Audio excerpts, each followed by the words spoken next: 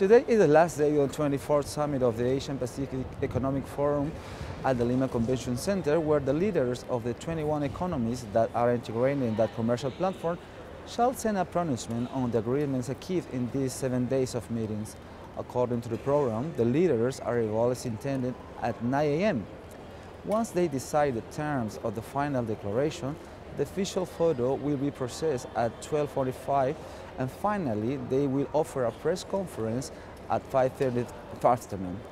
The official Gazette El Peruano and Andina, the official agency of the APEC summit, will inform details of the international meeting always with accurate and objective information through the virtual platforms, social networks and our bilingual publication.